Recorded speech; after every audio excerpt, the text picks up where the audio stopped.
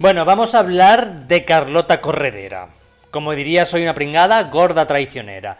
Porque mira, a mí me parece muy bien que esta gente haga lo que quiera en su puta casa, ¿vale? En su puta cadena de mierda, que es Telecirco, eh, Telemierda, y bueno, eh, todo correcto, ¿no? Mientras, mientras se, se retroalimenten entre mononeuronales, a mí no me importa. Otra cosa es ya cuando esto ocurre en una institución pública, ¿vale?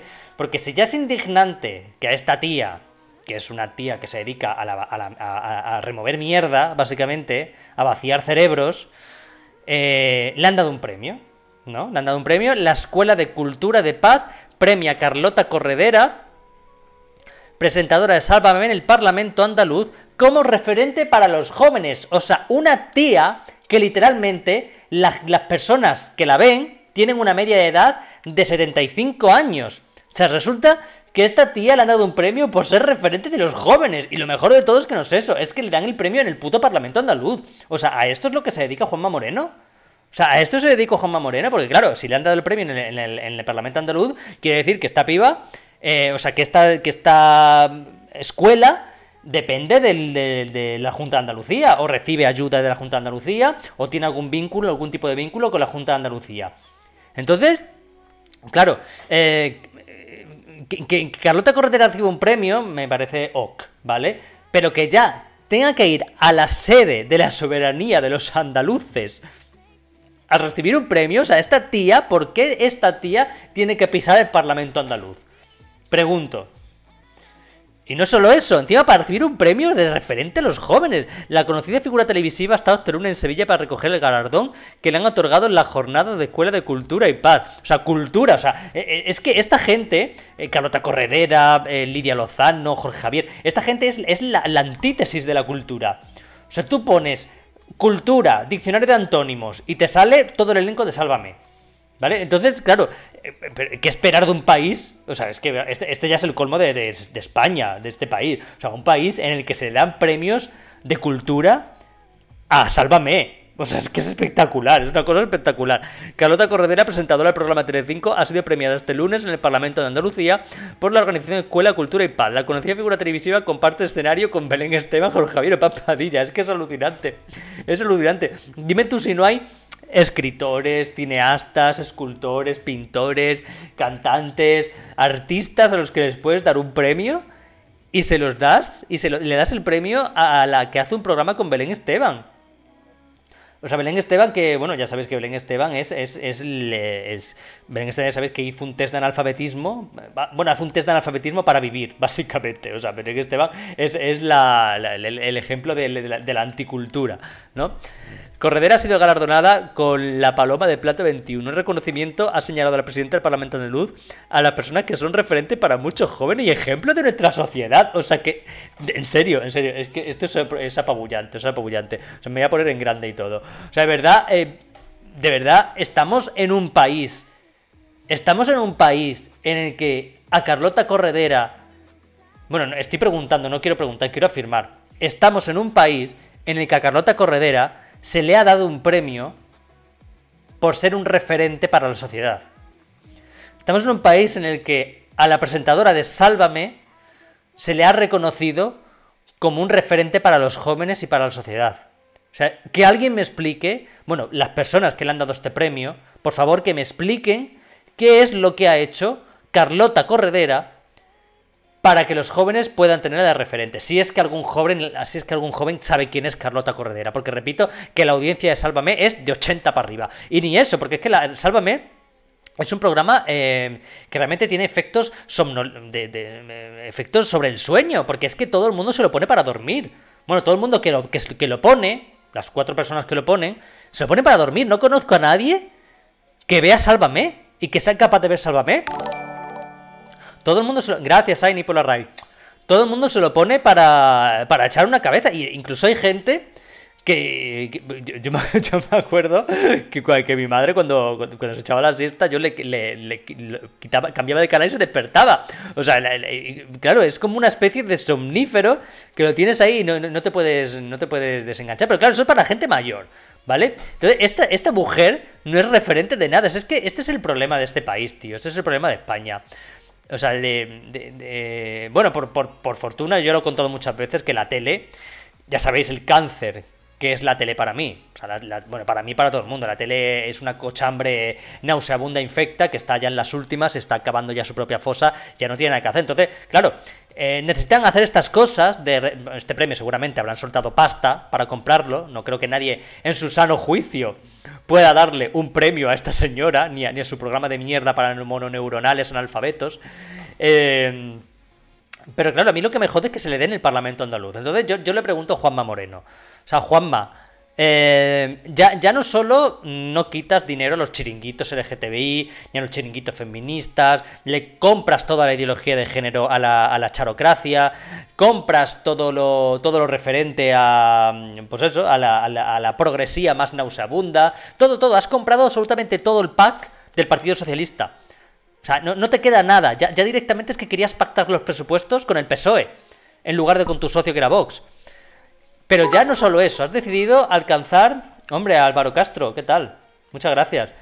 Eh, has decidido eh, superar todos tus límites dejando entrar a esta tipeja en el Parlamento andaluz, en la sede de la soberanía de los andaluces, para que le den un puto premio y la, y y la, bueno, y la pongan como un referente para los jóvenes. Un programa que debería ser directamente.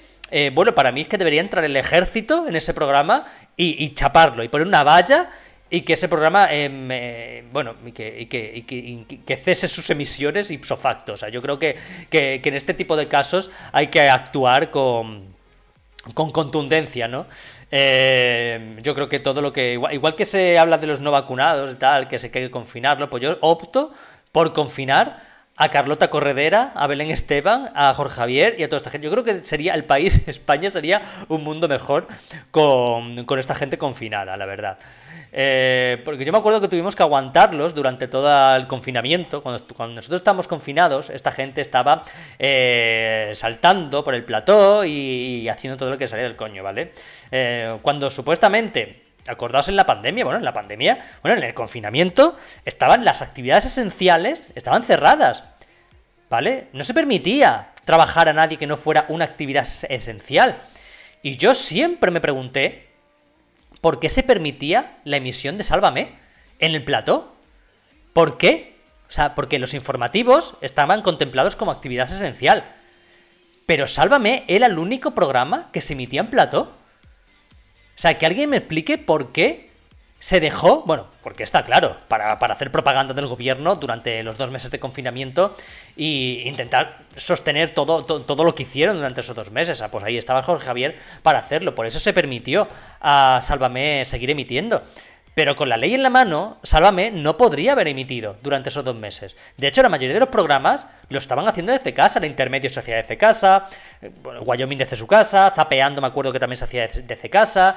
Eh, luego también hubo un reality que se hizo también, en, eh, que los metieron cuando estaban, creo que fue poco después del confinamiento, saltándose todas las normas, todas las normas que había impuestas, de, de, de distancia, etcétera cogieron, hicieron un reality y metieron a todo el mundo juntos, juntos en una casa. Creo que fue la Isla de las Tentaciones o alguna mierda de esas. Y eso fue en mayo del 2020, nada más salir del confinamiento. Hicieron un puto reality. Mientras todos estamos encerrados, mientras todos teníamos horarios para salir de casa, que me acuerdo, acordaos cuando cuando nos dejaron salir a pasear, que teníamos que salir por tramos de hora, ¿vale? Pues estaban los de la Isla de las Tentaciones comiendo rabos y con 20 cámaras alrededor. Mientras nosotros teníamos que ir eh, separados a dos metros uno de otro. Y en Sálvame igual, en Sálvame estaban con el programa ese de cocina que tenían, pasándose el tenedor y las babas unos a otros, mientras los demás estábamos encerrados. Es que, claro, y, esa gente es la que Juanma Moreno, o Escultura, o Escuela, Cultura y Paz, eh, considera un referente para la sociedad. Gente que se ha hartado a saltarse esas normas que nos han impuesto, eh, que se han reído en nuestra cara y que han ayudado al gobierno, al gobierno criminal, a extender una serie de bulos y de mentiras y de falsedades, ¿vale? Porque yo me acuerdo Paz Padilla haciendo campaña por Salvador Illa, ¿vale? Igual es porque rima. Paz Padilla le come el pollo a Salvador Illa. Entonces, eh, claro, un programa propagandístico como este, eh, es normal que no lo cancelaran. Pero ya el colmo es que ya le den un premio a esta tía, tío. Ya, ¿Qué es lo próximo ya? ¿Que le den un Nobel a Jorge Javier? Yo ya me espero eso, tío, le, que le den el premio Planeta a Jorge Javier. O que le den, eh, yo qué sé, el, el, el, pues otro premio Planeta a, Belén Esteban. Que mira la, la burra de libros que vendió la tía. Pues así, esto es, esto es España, señores. Esto es España. O sea, aquí hay una élite, una élite que se erige por encima de todos nosotros, ¿vale? Que, que, bueno, que reciben premios, o sea, tienen, tienen carta blanca para, para, hacer lo que les dé la gana, y mientras nosotros a obedecer, a obedecer, a obedecer, a obedecer. Esa es España, señores. La televisión del gobierno, exactamente. No, la televisión del gobierno son todas. La televisión del, la televisión del gobierno son todas. O sea, no hay ni una televisión de estas generalistas que no sea del gobierno. Todas son. Eh, Carlota, hija, de verdad, qué, poquitos queda. A mí, a mí la verdad que me, da, me dais mucha pena los de la tele, porque realmente os queda muy poco. Os queda muy poco, ya. Esto ya lo conté en, mi último vídeo. Eh, que bueno, que a la tele tradicional, a Tele5, Antena 3, le quedan dos años. Tirando muy a lo alto, eh, o sea, tirando muy. siendo muy optimista, eh, a la tele le quedan dos años. Eh, es que de verdad, ¿quién ve Sálvame? ¿Quién ve los telediarios? Bueno, los telediarios lo ve mucha gente, por desgracia, pero gente mayor, gente muy mayor. Lo de lo dice la tele ya es como ya un clásico, ¿no? Pero, pero ya está, yo, yo, por eso sé que nunca me van a llamar de la tele, a pesar de que antes le he hecho un llamamiento a Risto, Risto, invítame a tu programa para tener un debate, ¿sabes? Que sabes que yo no soy negacionista. Gracias Álvaro Castro por, suscribirte. Pero en fin, este, este, es el país en el que vivimos, señores. Carlota Corredera recibiendo premios. Belén Esteban recibiendo premios. Jorge Javier recibiendo premios. A la cultura, señores, a la cultura, ya sabéis. Sálvame, referente cultural. Tócate la polla. Tócate los cojones, tío. Es que... De verdad.